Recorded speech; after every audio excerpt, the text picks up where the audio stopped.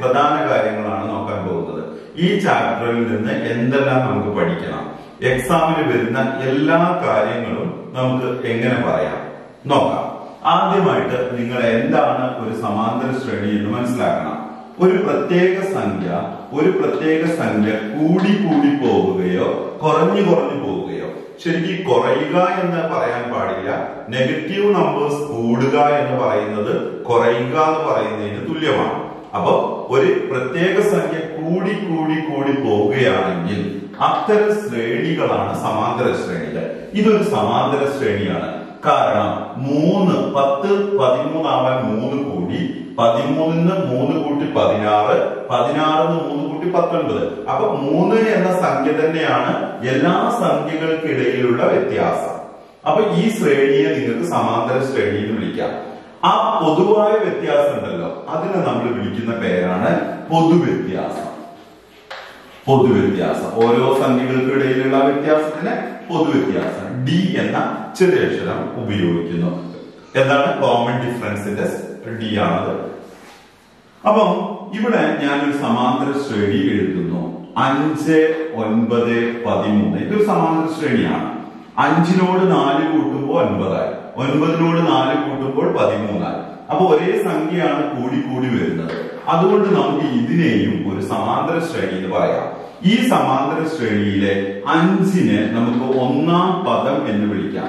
ഒന്നാം പദം. ആദ്യം കാണുന്ന സംഖ്യയെ ആദ്യ പദം അല്ലെങ്കിൽ ഒന്നാം പദം.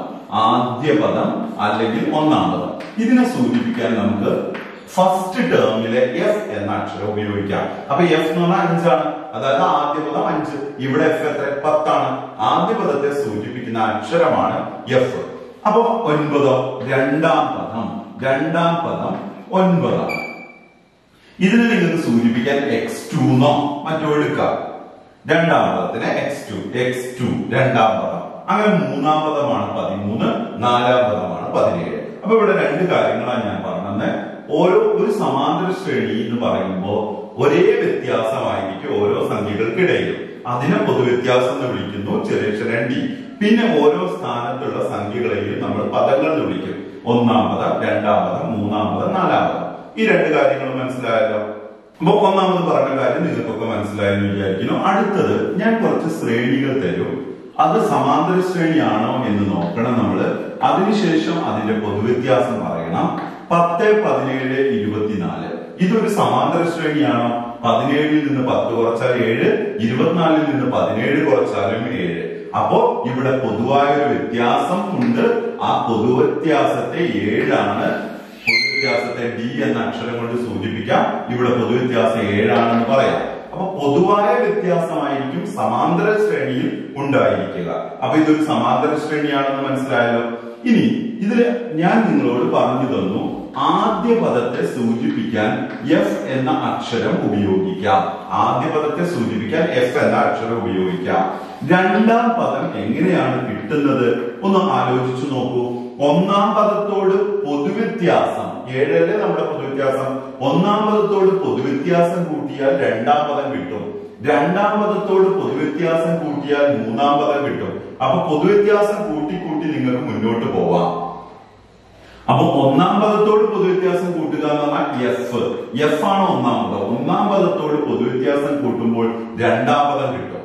എഫ് പ്ലസ് ഡി ആണ് രണ്ടാം പദം എന്ന് മനസ്സിലാക്കുക.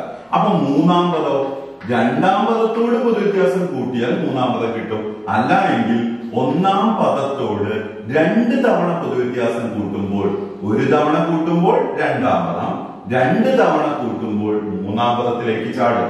ഞാനൊന്ന് ഓർമ്മിപ്പിക്കാം. രണ്ടാമത് പറഞ്ഞാൽ എഫ് പ്ലസ് ഒരു ഡി രണ്ട് എന്നുള്ളത് ഒന്നായി.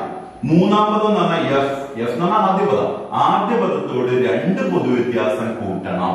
എഫ് പ്ലസ് രണ്ട് ഡി ഇത് നമ്മുടെ നാവിൽ ഇങ്ങനെ വരണം. ആദ്യ പദത്തോട് രണ്ട് പൊതുവ്യത്യാസം കൂട്ടുമ്പോൾ മൂന്നാം പദം. മൂന്ന് പദങ്ങൾ ഉണ്ടെങ്കിൽ ആദ്യ പദത്തോട് ഒരു വട്ടം പൊതുവ്യത്യാസം കൂട്ടുമ്പോൾ രണ്ടാം പദം.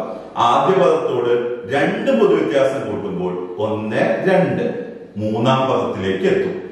അപ്പോ മൂന്നാം പദം എങ്ങനെ കിട്ടും? എഫ് പ്ലസ് ആദ്യ പദത്തോട് രണ്ട് പൊതു വ്യത്യാസം കൂട്ടിയാൽ മതി. അപ്പൊ മൂന്നാം പദം എന്ന് പറയുമ്പോഴേക്കിന് എഫ് പ്ലസ് രണ്ട് ഡി എന്ന് നമ്മുടെ നാട്ടിൽ വരണം രണ്ട്. നോക്കൂ മൂന്ന് ഒന്ന് കുറച്ച് രണ്ട്. നാലാം പദം. നാലാം പദം എങ്ങനെ പറയും? എഫ് പ്ലസ് മൂന്ന് ഡി ആദ്യ പദത്തോട് മൂന്ന് പൊതു വ്യത്യാസം കൂട്ടിയാൽ മതി. അഞ്ചാം പദം എങ്ങനെ എഴുതും? എഫ് പ്ലസ് നാല് ഡി ആദ്യ പദത്തോട് നാല് പൊതു വ്യത്യാസം കൂട്ടിയാൽ മതി. അപ്പൊ എങ്ങനെ നമ്മൾ പോകുന്നുള്ള കാര്യമാണ്. ഇപ്പൊ ഞാൻ പറഞ്ഞത് ആദ്യ പദത്തോട് പൊതുവ്യത്യാസം കൂട്ടിയാൽ രണ്ടാം പദം രണ്ടാം പദത്തോട് പൊതുവ്യത്യാസം കൂട്ടിയാൽ മൂന്നാം പദം മൂന്നാം പദത്തോട് പൊതുവ്യത്യാസം കൂട്ടിയാൽ നാലാം പദം നാലാം പദത്തോട് പൊതുവ്യത്യാസം കൂട്ടിയാൽ അഞ്ചാം പദം അപ്പൊ ഓരോ പദങ്ങൾ എങ്ങനെ കണ്ടുപിടിക്കുക എന്നാണ് ഇപ്പൊ പറഞ്ഞുകൊണ്ടിരിക്കുന്നത്.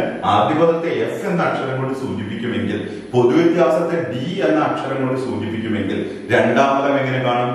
എഫ് പ്ലസ് ഒരു ഡി മൂന്നാമത് എഫ് പ്ലസ് രണ്ട് ഡി നാലാമത് എഫ് പ്ലസ് മൂന്ന് ഡി അഞ്ചാമത് എഫ് പ്ലസ് നാല് ഡി ആറാമത് എഫ് പ്ലസ് അഞ്ച് ഡി പത്താം എഫ് പ്ലസ് ഒൻപത് ഡി നൂറാം പദം എഫ് പ്ലസ് തൊണ്ണൂറ്റി ഒൻപത് ഡി എന്ന് പറഞ്ഞ് നമുക്ക് കണ്ടുപിടിക്കാം. നമുക്ക് ഓരോന്നോരോന്ന് കൂട്ടി കണ്ടുപിടിക്കണ്ടല്ലോ. ഇങ്ങനെ ചെയ്താൽ പോരെ.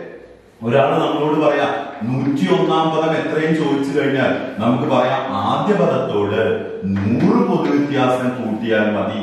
എഫ് പ്ലസ് നൂറ് ഡി ആണ് നൂറ്റൊന്നാം പദം. തൊണ്ണൂറ്റി ഒൻപതാം പദം എത്ര? അല്ലെങ്കിൽ തൊണ്ണൂറ്റി ഒൻപതാമത്തെ സംഖ്യ എത്ര? ഇങ്ങനെ ഇങ്ങനെ എണ്ണി പോകുമ്പോൾ ഒന്ന് രണ്ട് മൂന്ന് നാല് അങ്ങനെ എണ്ണി പോകുമ്പോൾ തൊണ്ണൂറ്റി ഒമ്പതാമത്തെ സംഖ്യ എത്രയെന്ന് ചോദിച്ചാൽ എഫ് പ്ലസ് തൊണ്ണൂറ്റി എട്ട് ഡി എന്ന് പറയാം. അപ്പൊ ഇതാണ് അടുത്ത പ്രധാന പോയിന്റ്. ആദ്യത്തെ എഫ് രണ്ടാമത്തെ എഫ് പ്ലസ് ഒരു ഡി മൂന്നാമത്തെ എഫ് പ്ലസ് രണ്ട് ഡി നാലാമത്തെ എഫ് പ്ലസ് മൂന്ന് ഡി അഞ്ചാമത്തെ എഫ് പ്ലസ് നാല് ഡി അല്ലെങ്കിൽ മനപ്പാടാക്കിയാൽ മതി. ഒരു സംഖ്യയിലോട് പൊതുവ്യത്യാസം കൂട്ടുമ്പോൾ അതിന്റെ അടുത്ത്. എത്ര പൊതുവ്യത്യാസം കൂട്ടുന്നുവോ അത്രയും തവണ മുന്നോട്ട് ചാടും. അപ്പൊ രണ്ട് പൊതുവ്യത്യാസം കൂടുമ്പോൾ രണ്ട് തവണ മുന്നോട്ട് കൂട്ട്. മൂന്ന് പൊതുവ്യത്യാസം കൂട്ടുമ്പോൾ മൂന്ന് തവണ മുന്നോട്ട് കൂട്ടി പോവുക. അപ്പോ ഇപ്പൊ നമ്മൾ പറഞ്ഞു നിർത്തിയത് ആദ്യത്തെ എഫ് പൊതുവ്യത്യാസം ഡി അതാണ് പ്രധാന കാര്യമായി പറഞ്ഞത്. അപ്പോ അതുമായി ബന്ധപ്പെട്ട് ഒരു ക്വസ്റ്റ്യൻ ഞാൻ എങ്ങനെയാണ് നിങ്ങളെ പഠിപ്പിക്കുന്നത് നോക്കൂ. പത്ത് പതിനെട്ട് ഇരുപത്തി ആറ് ഡാഷ് ഈ രണ്ട് സംഖ്യകളെ കണ്ടുപിടിക്കണം. എങ്ങനെയാണ് കണ്ടുപിടിക്കുക? ആദ്യം നിങ്ങൾ പൊതുവ്യത്യാസം ഇതൊന്നും ചെയ് കണക്ക് ചെയ്യണം. മനസ്സിൽ പറഞ്ഞാൽ പോലെ പതിനെട്ടിൽ നിന്ന് പത്ത് കുറച്ച് എട്ട്. അതാണ് പൊതുവ്യത്യാസം. ആ എട്ട് കൂട്ടിയിട്ടാണ് ഇരുപത്തി ആറ് കിട്ടിയത്. ഇനി ഇരുപത്തി ആറിനോട് എട്ട് കൂട്ടുമ്പോൾ എത്ര കിട്ടും? മുപ്പത്തിനാല്. അടുത്ത സംഖ്യ. അതിനോട് വീണ്ടും പൊതുവ്യത്യാസം എട്ട് കൂട്ടിക്കഴിഞ്ഞാൽ മുപ്പത്തിനാലിനോട് എട്ട്. എട്ട് എവിടെ നിന്ന് കിട്ടി? ഇതാ പത്തും എട്ടും പതിനെട്ട്. എട്ടിന്റെ വ്യത്യാസമാണ്. എങ്ങനെ കിട്ടും പൊതുവ്യത്യാസം? പതിനെട്ടിന്ന് പത്ത് കുറച്ച് എട്ട്. ആ എട്ടാണ് കൂട്ടിപ്പോകുന്നത്. മുപ്പത്തിനാലിനോട് എട്ട് കൂട്ടിക്കഴിഞ്ഞാൽ നാൽപ്പത്തിരണ്ട് ഇങ്ങനെയല്ലേ നമ്മൾ പൊതുവ്യത്യാസം എടുത്ത് മുന്നോട്ട് പോകുന്നത്. ഇങ്ങനെ തരുന്നത് നമുക്ക് അടുത്തടുത്ത് തരുന്നത് ഇങ്ങനെയൊക്കെ ചെയ്യാം. നമുക്ക് നൂറാമതം കാണാനും നൂറ്റൊന്നാമതം കാണാനൊക്കെ വരുമ്പോ എങ്ങനെ ചെയ്യാൻ നോക്കാം. അപ്പോ ഇവിടെ ഞാൻ നിങ്ങളോട് ചോദിക്കുകയാണ് ഈ സമാന്തര ശ്രേണിയിലെ നൂറ്റി ഒന്നാം പദം എത്ര? എന്ന് ചോദിച്ചു കഴിഞ്ഞാൽ നിങ്ങൾക്ക് ഇങ്ങനെ മനസ്സിൽ വിചാരിക്കാം. ആദ്യ പദത്തോട് നൂറ് പൊതുവ്യത്യാസം കൂട്ടിയാൽ നൂറ്റൊന്നാം പദം കിട്ടും. ആ നൂറ്റി ഒന്നാമത്തെ സംഖ്യയിലേക്ക് എങ്ങനെ എത്തും? ഒന്നാമത്തെ സംഖ്യയോട് നൂറ് വട്ടം മുന്നിക്ക് ചാടണ്ടേ? നൂറ്റൊന്നാം പദത്തേക്ക് എത്താം. അപ്പൊ പൊതുവ്യത്യാസം എത്രയാണ്? എട്ട്. നൂറ് പൊതുവ്യത്യാസം എന്ന് പറഞ്ഞാൽ നൂറെട്ട് എണ്ണൂറ്. എണ്ണൂറിനോട് ആദ്യത്തെ സംഖ്യ പത്ത് കൂട്ടിക്കഴിഞ്ഞാൽ എണ്ണൂറ്റി പത്തായിരിക്കും നൂറ്റി ഒന്നാമത്തെ സംഖ്യ. മനസ്സിൽ തന്നെ നമുക്ക് കൂട്ടാൻ പറ്റും.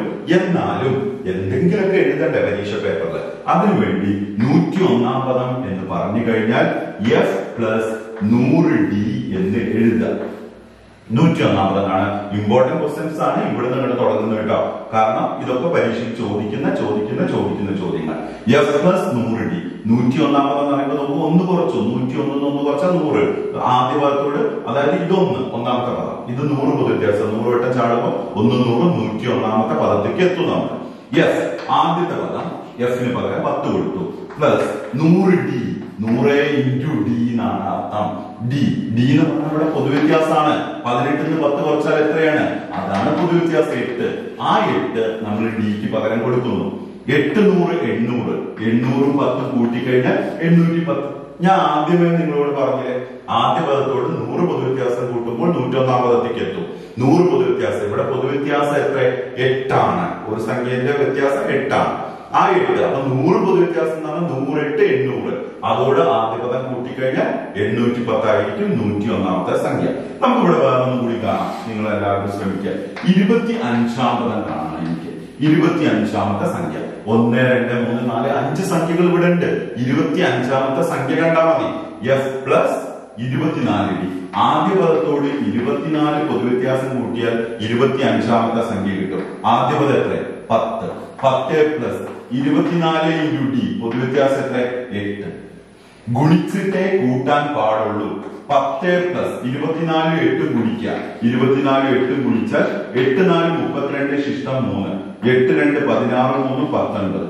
നൂറ്റി തൊണ്ണൂറ്റി രണ്ട് ഗുണിച്ചതിന് ശേഷം കൂട്ട നൂറ്റി തൊണ്ണൂറ്റി രണ്ട് പത്തും ഇരുന്നൂറ്റി രണ്ട് ഇരുപത്തി അഞ്ചാമത്തെ സംഖ്യ ഇരുന്നൂറ്റി രണ്ടായിരിക്കും അപ്പൊ എങ്ങനെ പദങ്ങൾ കണ്ടുപിടിക്കാം എന്നുള്ളതാണ് ഞാൻ ഇപ്പൊ പറഞ്ഞു തന്നത്.